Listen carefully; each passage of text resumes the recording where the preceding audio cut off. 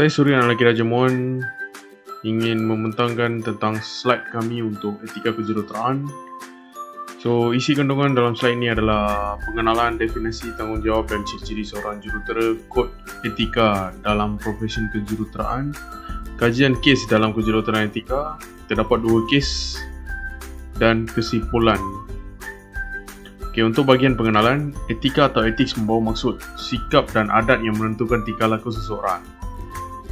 Etika profesional dilihat sebagai satu cabang yang penting dalam kerjaya profesional pada masa kini. Etika profesional merupakan satu alat kawalan sosial terhadap golongan profesional yang membolehkan organisasi dan masyarakat mengawal dan menilai tingkah laku mereka dari semasa ke semasa. Okey, definisi. Perkara yang amat penting untuk memupuk kesedaran kepada kejuruteraan demi menggalas tanggungjawab sosial. Etika kejuruteraan ditakrifkan sebagai kaedah-kaedah dan standard yang mengawal pengendalian jurutera dalam peranan mereka bersedia untuk membuat keputusan semasa kerjaya profesion mereka. Ini adalah definisi untuk etika kejuruteraan. Dan itu saja daripada saya. Assalamualaikum, nama saya Nur Ashki Widiwasna dan saya akan menerangkan tentang tanggungjawab seorang jurutera. Tanggungjawab seorang jurutera jika tidak dijaga dengan baik akan mengakibatkan kesan buruk kemalakan dan kerugian kepada syarikat tersebut. Kesetiaan kepada syarikat menghormati kewibawaan dan kerja berpasukan adalah beberapa perkara yang penting dalam bidang kejuruteraan. Tanggungjawab seorang jurutera adalah memastikan keselamatan dan kesejahteraan pekerja serta pelanggan, beretika profesional, tanggungjawab terhadap alam sekitar, menjaga kualiti produk, pekerjaan dan memberi komunikasi yang baik terhadap serta pelanggan. Ciri-ciri seorang jurutera ialah mengakhiri pendapat setiap pihak, prosedur harus diikuti untuk penyelesaian konflik, menghormati keputusan setiap pihak, memberi komitmen terhadap pekerjaan yang dilakukan. Untuk penyelesaian masalah, melakukan analisis terhadap masalah yang dihadapi, melakukan peran perancangan untuk menyelesaikan masalah yang dihadapi untuk membuat keputusan adalah perlu bersedia untuk membuat keputusan yang penting untuk menangani masalah yang dihadapi kemampuan untuk menganalisis masalah yang dihadapi. Sekian, terima kasih. Saya Laiman Cheng ingin memberikan penerangan tentang kod etika dalam profesion kejuruteraan. Etika berasal dari perkataan bahasa Inggeris iaitu etik dan istilah etika berasal dari bahasa Greek iaitu ethos. Etika ialah teori merumuskan tingkah laku yang sebetulnya dalam kehidupan yang baik. Kod etika kejuruteraan adalah sebagai satu panduan kawasan sosial untuk mendisiplinkan diri Menurut Kod Etika Lembagaan Jurutera Malaysia, dia mempunyai lima prinsip utama. Yang pertama, hendaklah mengutamakan kepentingan masyarakat sekeliling dalam setiap keputusan yang diambil.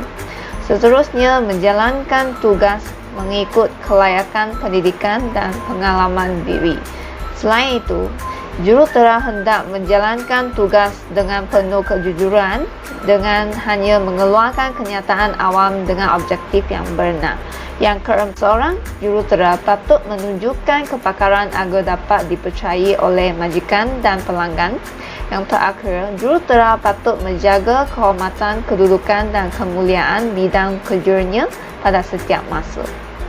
Fungsi kod etika adalah sebagai satu kawalan sosial. Yang berikut adalah fungsi-fungsi kod etika. So, kod etika adalah panduan dengan menyatakan tingkah laku yang sepatutnya diamalkan oleh sebuah organisasi. Dan kod etika juga boleh digunakan untuk pencegahan dengan memudahkan badan profesional menyiasat sebarang penyalahgunaan ahli-ahlinya apabila aduan diterima. Dan selain itu, kod etika juga boleh mempertahankan status melalui meningkatkan integriti, kejujuran dan marah kepakaran masing-masing. Seterusnya, kod etika juga menggariskan panduan tingkah laku yang patut dipatuhinya dan perlu diamalkan sepenuhnya untuk memelihara kepentingan semua pihak. Yang terakhir adalah kod etika juga dapat memberi sokongan.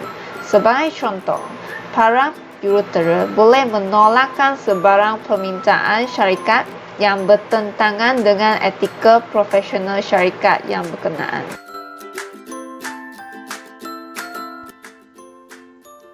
Assalamualaikum dan salam sejahtera. Nama saya Muhammad Akbar bin Abdul Rashid dan saya akan terangkan tentang kajian kes dalam kejuruteraan etika Kes 1. Kereta ditimpa batu konkrit. Lebuh Raya Lingkaran Tengah 2 MR2 merupakan jalan utama bagi pengguna-pengguna jalan raya di sekitar Lembah Kelang. Kemalangan yang mengakibatkan seorang pemandu wanita sekitar umur 20-an di mana keretanya ditimpa batu konkrit dari struktur pembinaan Lebuh Raya bertingkat Sungai Besi Ulu Kelang, SUP yang jatuh di Lebuh Raya Lingkaran Tengah 2 MR2. Daripada gambar rajah yang kita dapat lihat, ha, adalah keadaan kereta mangsa yang ditimpa batu konkrit. Antara faktor-faktor utama yang berlakunya kejadian ini adalah daripada sikap kecewayan jurutera dan juga tiada pemasangan jaring keselamatan. Hai, Assalamualaikum. Nama saya Nur Aisyah binti Nur Azmi. Saya akan menerangkan tentang kesimpulan. Menjadi seorang jurutera bukanlah sesuatu pekerjaan yang sangat mudah. Jurutera profesional memikul tanggungjawab terhadap pembangunan negara. Ketidakmampuan jurutera dalam menguruskan bahan atau alat dan gagal mencapai hasil yang diharapkan, kesalahan dan kemalangan juga mungkin akan berlaku ketika mengikuti prosedur. Jurutera haruslah berfikiran secara kreatif dan terbuka bagi mengelakkan berlakunya perkara yang tidak diingini seperti kemalangan di tempat kerja. Oleh itu, etika kejuruteraan dianggap sebagai media yang sangat penting dan berfungsi sebagai standard pengukuran dan panduan bagi jurutera untuk memikul tanggungjawab dengan jujur dan amanah. Sekian, terima kasih.